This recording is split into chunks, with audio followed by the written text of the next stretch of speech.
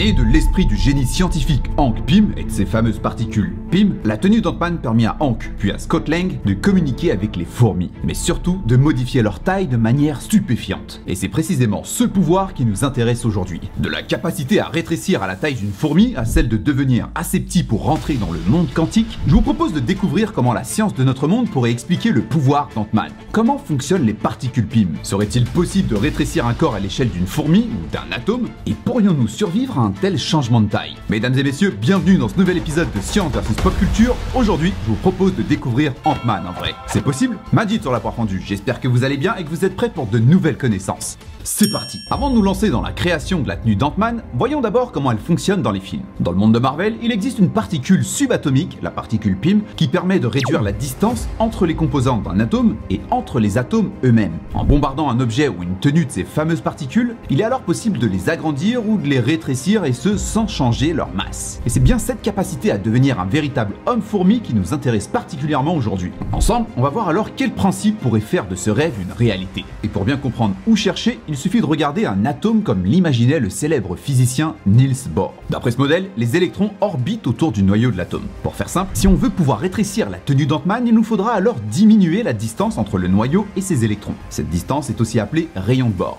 Ce rapprochement transformerait alors les électrons en leurs cousins plus lourds, les muons, et nous permettrait de rapprocher les atomes entre eux. Même si en théorie une telle prouesse est possible, dans la réalité, nos amis scientifiques en sont toujours au stade expérimental. Mais s'ils y arrivent un jour, vous allez voir que les conséquences seraient de taille. Pour rappel, le film nous indique clairement que les particules Pym modifient uniquement la distance entre les atomes et pas leur nombre. Et qui dit même nombre d'atomes dit aussi même quantité de matière et donc même masse. Sauf que mettre la masse d'un homme adulte dans un volume aussi petit qu'une fourmi augmenterait énormément énormément sa densité. Petit rappel de vos cours de physique, la densité correspond à la masse divisée par le volume. Imaginons maintenant qu'Ant-Man et son costume pèsent 90 kg et qu'on le réduise à la taille d'une fourmi de 3-4 mm, on obtiendrait alors un corps si dense qu'il équivaudrait à pas moins de 2 milliards de kilos par mètre cube. Autrement dit, il serait si dense qu'il traverserait sans doute la Terre elle-même tout droit en direction de son centre. Dans cette même idée, rappelez-vous du joli petit porte-clés porté par Monsieur Pym qui n'est autre qu'un tank miniaturisé. Ouais, je vous laisse imaginer ce que ferait un objet d'une telle densité quand on sait les dégâts que causerait notre homme fourmi. A l'inverse, si on grossissait des objets de base petits, comme ce jouet ou même une fourmi, l'effet serait logiquement inversé et leur densité serait si faible qu'ils flotteraient littéralement dans les airs comme de gros ballons de baudruche. Et même si on imagine que Marvel a sur ce coup décidé de mettre la science de côté d'un claquement de doigts pour nous permettre d'avoir des scènes de combat stylées à regarder,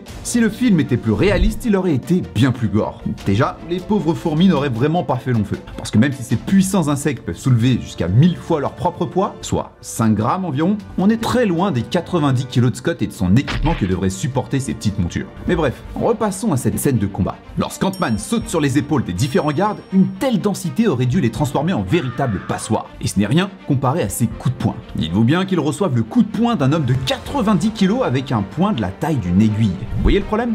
Avec une si petite surface d'impact, le poing d'Ant-Man leur traverserait littéralement la peau comme le ferait une balle de revolver. Bon, bien que tout ça n'ait pas été pris en compte, on remarque quand même l'effort de Marvel sur certaines scènes, comme celle où on voit l'impact du poids d'Ant-Man sur le carrelage de la salle de bain. Est-ce que la science pourrait nous permettre un jour d'avoir les pouvoirs d'Ant-Man? Je sais pas. Par contre, ce qui est sûr, c'est que pour y arriver, on pourrait penser à d'autres choses que les particules Pym. Pour en citer un, c'est du côté de la nature qu'il faudra se tourner. Quand on y réfléchit, au sein d'une même espèce, que ce soit les humains ou les fourmis par exemple, il existe des différences de taille plus ou moins impressionnantes. Et si c'était C'est justement en étudiant les variations de taille chez les fourmis d'une même colonie que les chercheurs de l'université de Stanford ont alors découvert l'origine de ces variations, l'ADN et les facteurs environnementaux. Ces variations correspondent en fait à une modification chimique apportée à l'ADN et qu'on appelle méthylation de l'ADN. Mais la question qui nous intéresse est est-il possible de modifier l'ADN nous-mêmes? Après avoir mené quelques tests, ils ont prouvé qu'il était possible de maîtriser cette méthylation et qu'en le faisant sur un être à un très jeune âge, sa taille devenait bien plus faible que dans la nature. A l'inverse, en empêchant cette méthylation, sa taille augmentait. Tout ça pour dire que si j'étais Monsieur Pym, je laisserais tomber les particules pour m'intéresser à la méthylation de l'ADN qui fonctionne bien mieux dans notre monde.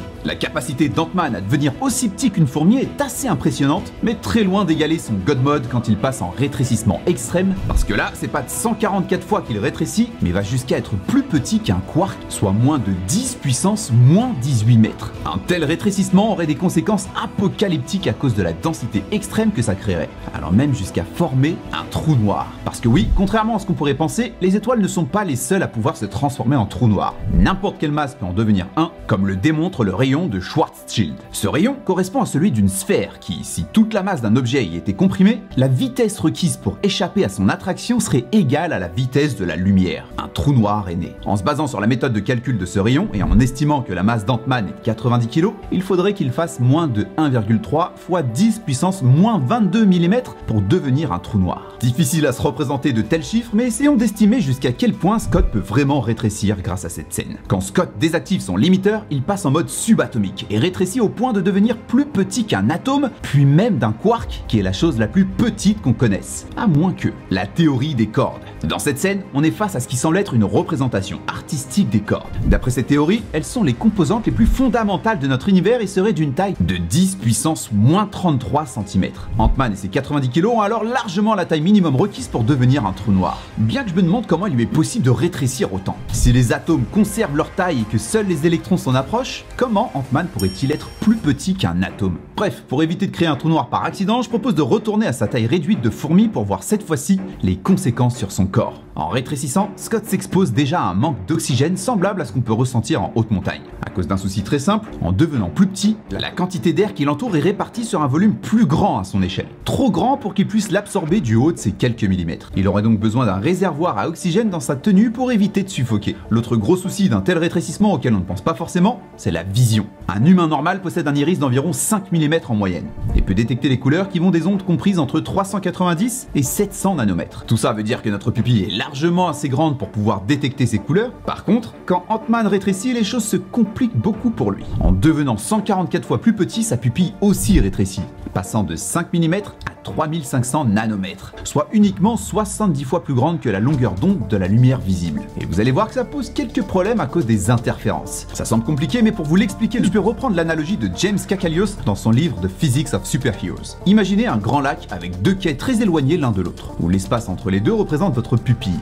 Les vagues créées dans ce lac peuvent passer sans problème entre les quais malgré ces petites interférences. Mais si on diminue grandement l'espace, alors les interférences auront plus d'impact et les ondes iront jusqu'à s'annuler entre dans l'œil d'Ant-Man, le principe serait le même. Avec moins d'espace pour circuler, la longueur d'onde de la lumière aurait trop d'interférences, et notre super-héros serait plus aveugle que son compère Daredevil. Il n'y a plus qu'à espérer pour lui que son casque puisse remédier à ce problème avec la magie de la science de Marvel. Maintenant que la science derrière le pouvoir d'Ant-Man n'a plus de secret pour vous, je vous propose de foncer vers la vidéo de Flash où grâce à la science, on imagine ensemble les conséquences d'une telle vitesse. Maintenant, c'est à vous de jouer si vous pouviez rétrécir comme Ant-Man pour une journée. Qu'est-ce que vous feriez avec? Dites-le moi en commentaire. Aussi, si vous ne connaissez pas encore, je vous conseille de jeter un œil à deux de mes chaînes favorites, de Nerdist et de Film Theorist. Je vous les mets en description, vous verrez, ils parlent plus en détail avec plus de calculs ce dont on vient de parler ensemble. En attendant, c'est tout pour moi, je vous dis à bientôt pour de nouvelles connaissances.